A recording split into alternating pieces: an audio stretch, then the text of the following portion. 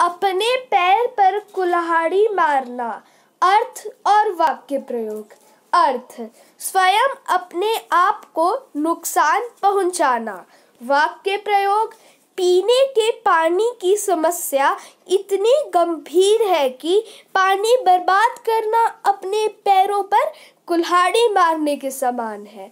और इंग्लिश में फ्रेज है डिग योर ओन ग्रेव और कट योर ओन थ्रोट और इसका सेंटेंस है wasting water is like cutting your throat by yourself so thanks